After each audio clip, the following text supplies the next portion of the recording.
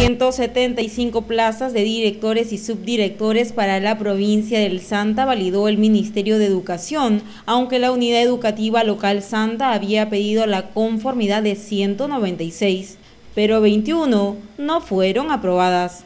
Así lo dio a conocer el director de la UGEL Santa, Félix Aguirre.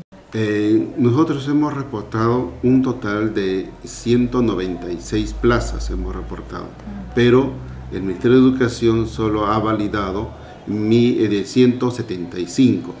Nosotros estamos preocupados ¿no? porque 21 plazas no han sido validadas y también hay una institución donde eh, se está, han cometido un error donde se ha puesto dos plazas de directores, que es en el ferrocarril.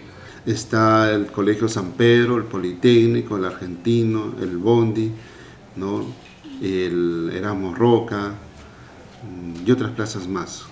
Pero, como le digo, nosotros estamos a la espera de una respuesta que nosotros hemos eh, llevado el día viernes a la ministra de Educación sobre por qué no han sido validadas 21 plazas más y también el error que han cometido de sacar a concurso dos plazas de directores en el ferrocarril cuando solamente hay una sola plaza.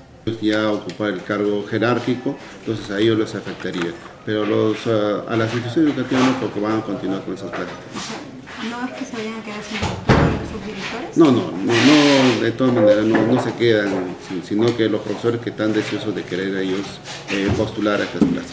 Entre las plazas disponibles se hallan 32 para inicial, 99 para primaria y 44 para secundaria. Vale indicar que se han observado que para la institución educativa El Ferrocarril se ha validado dos plazas, cuando solo existe una.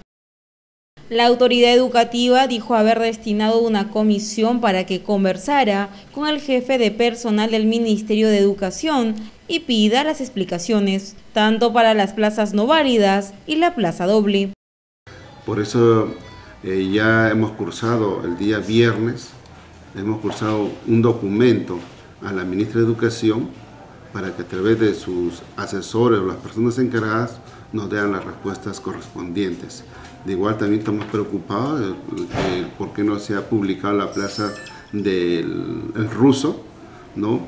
Y también vamos a tener nosotros una, una respuesta, nos han dicho para el día martes. Eh, hoy día de nuevo está viajando el asesor legal para que vean ¿no? todas las convalidaciones de estas plazas.